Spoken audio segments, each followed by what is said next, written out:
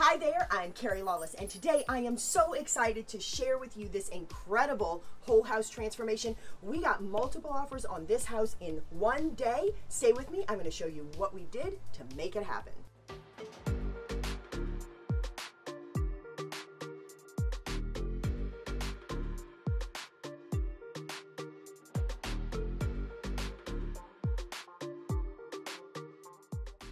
So starting outside, we didn't really have all that much to do. We just cleaned up the landscaping a little bit, put some really nice planters and this adorable wreath. Now let's go take a look at the inside. The very first room that we're gonna step into is the foyer. We didn't have to do a whole lot here, but you want this to be super welcoming, right? So we just added a table, plant, and some interesting artwork here. Now, my favorite thing, I think this is my favorite thing that we did, was we had our amazing carpenter build a couple of barn doors here. This is probably bang for the buck the best thing we did in this house because let me tell you that when a buyer walks in, this is what they love. They cannot get over this. So this used to be a teenage hangout. There were two regular white doors here. We had these taken down. Um, oh, the track I did buy from Amazon. And the wood I got from Home Depot. It's already this color. So we'll give you the link to the track. Um, and then you just have to find someone to build it, but totally worth it. So we had bright blue carpet or royal blue carpet in here. We took that out and we found some laminate that closely matched the wood in the rest of the house. So not too bad. Um, we did take down the ceiling fan and put a chandelier and that really helped dress up the room quite a bit. Um, here's a tip for you though, if you have like um, a Habitat for Humanity or one of those kinds of thrift stores that takes in building materials, look for chandeliers there and yes, they can be painted. We have videos that show you how to do that. So bang for the buck, that goes a long way. Now, one of the most important things we did here, it was very important, we kept playing with this table scape. Because the table was long ways and you saw the back of one chair when you walked in, the artwork had to be nice, but this was very important. So we just added some greenery in this little bowl and all the spheres and the candle holders, and that made a big difference. Gave a lot of visual interest to the center of the room. And of course, as always, we did our curtains all the way up to the ceiling and then just added artwork, plants for warmth, and our mirrors here. All right, let's go see what else. In terms of how much change happened in this house, I would say this room is probably the most dramatic. So we've got this beautiful cathedral ceiling and this gorgeous beam running across, but what we had was popcorn texture. Um, and I find that a lot of people really push back against that. For some people, it's a total deal breaker. They won't even entertain buying the house because of it. So we decided to put a little bit of money into getting all the ceilings scraped and uh, re you know retextured and just flattened out and it's so beautiful. It came out so nice. Bang for the buck totally worth it. Now the other things we had going on in here that i felt we needed to change was this brick was very dark like the exterior of the house. It was very heavy and this was very dark and we had a brass fireplace screen that really needed to come out. So we took that out. We whitewashed the brick. There will definitely be a separate video on that and, uh, and then just painted this white. And the room started to really become light and airy and fresh. The other thing we did was we put new recessed cans in and we did the warm light LEDs and that really modernized the space. There were already cans there, but they were kind of outdated. So we just refreshed those fixtures and we changed the ceiling fan. That really helped a lot. Now we had some heavy furniture over here. We had like, uh, this was very dark wood and then they had the two pieces, like a typical entertainment center. We got rid of all the side pieces and we just painted this. We put some artwork here and some chairs and really filled up this wall. And I think it came out great. So the last thing I want to talk about, and of course you can see we went with the blues and the whites and the creams and the grays and those warm and cool tones came together and add that pop of blue, it just feels great in this room. Um, the other thing we did was, this was such a big wall. We started out, I don't know, we kept playing with this wall. We had a table here, we were trying to figure out what we were gonna put, nothing was big enough. So this is the biggest picture we have for the console table painting idea that we have, but I think the wall is too big. Yeah, those are definitely too small. And I think that's still too small. I mean, like, even with a table, it's just huge. What if, okay, what if we tried to just use all of them? I mean, you think they go well enough together? We'll just make a gallery wall. Okay, and we can add mirrors that are like, they have the same frame. That's awesome. Okay, look, let's lay them out on the floor. You think these go well enough together?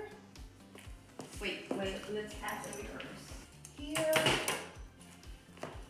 And what about one down there? Oh my god. That is awesome. I can't believe these three work together so well because they're kind of different. All right, hanging ninja, you ready to hang some pictures? Yep, so we do this straight, right? Yeah. Okay, perfect. So yeah, let's let's make this line straight and this line straight, and then we'll just fill in. Okay. All right, let's get started.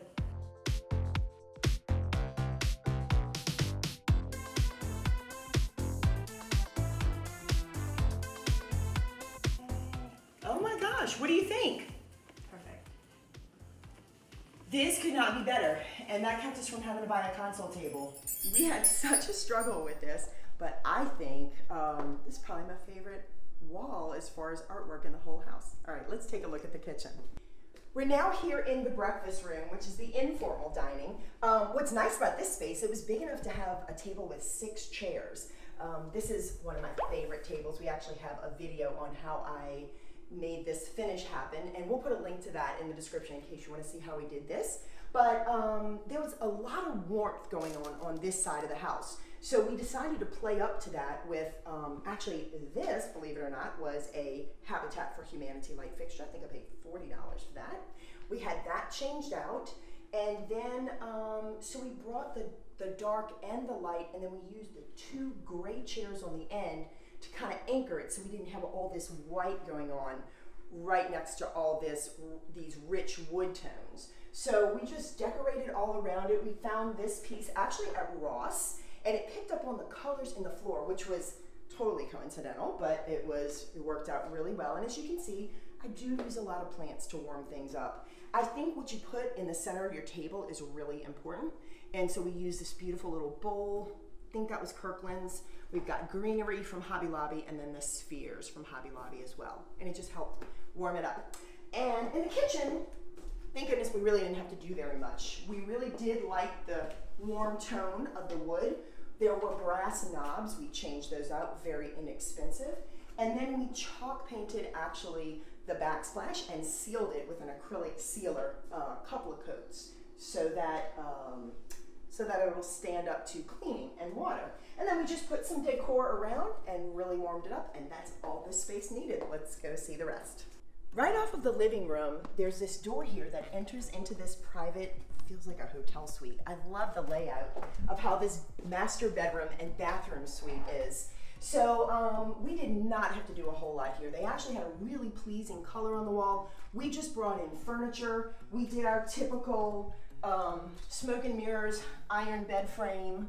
Um, we'll have a link to that and we do our blow up mattresses here. And then we just put some nice warm rich colors. We brought in some nightstands, a table here to kind of represent where your dresser would go, and then just some pleasing artwork and lamps. All right, let's go see this bathroom. This room was already so beautiful, there was not very much that I had to do. I did, however, replace the mirror here and just richen that up with the dark tones that picked up on what was going on here, put a little bit of decor, and that's all that room needed. Now in here, we had the spots that get all over the glass and it was it almost looked frosted so i went ahead and just took a, um, a buffer and some compound and we got all that off and now the glass is clear again. Let's go see the other bedrooms.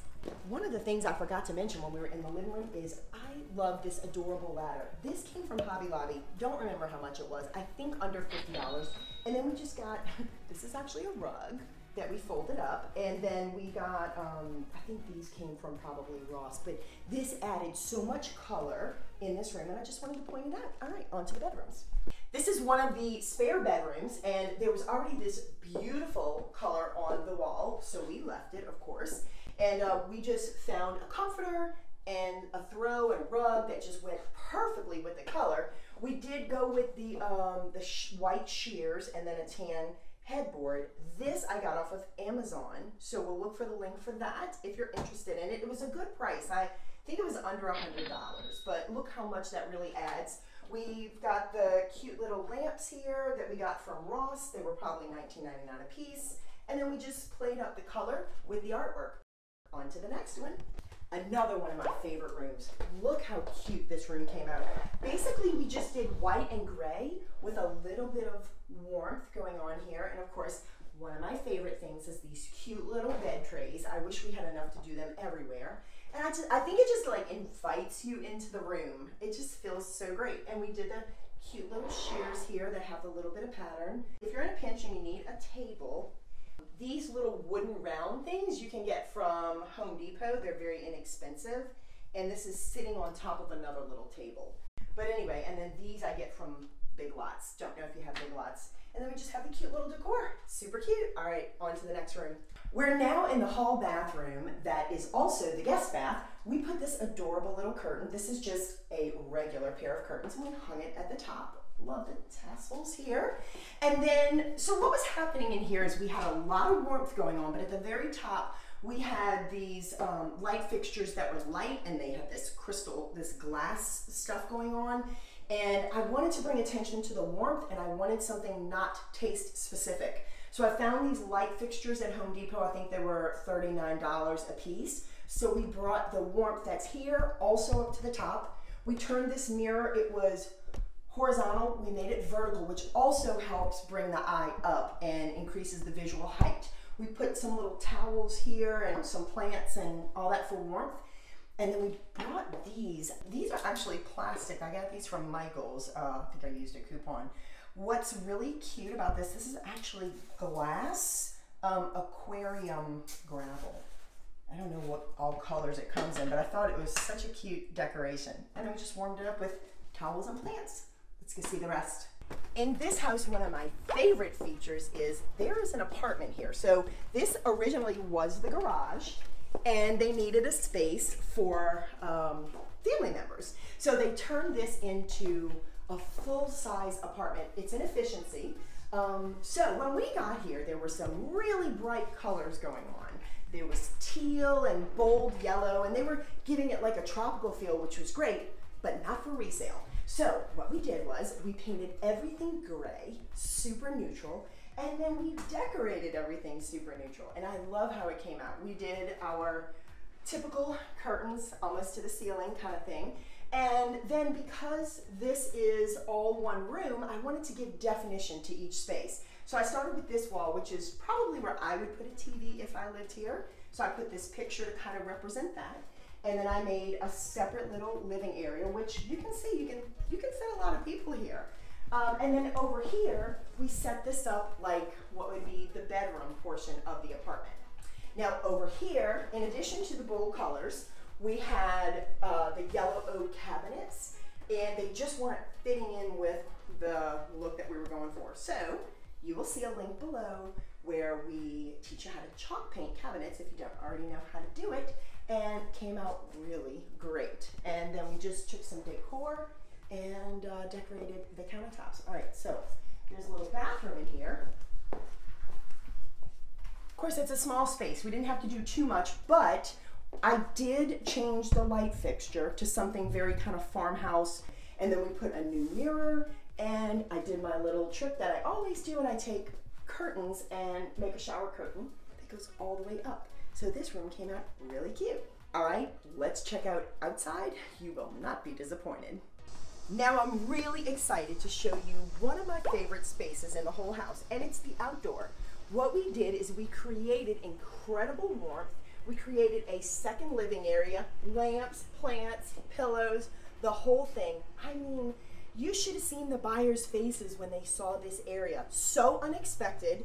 And uh, we even brought a table, some artwork, totally worth it to make this space amazing. And then over here, we did, we just brought some iron chairs. This table was already here, but that's all we had to work with. So then I just decorated it just like I would have if it was inside. I just went a little bit bolder with the color.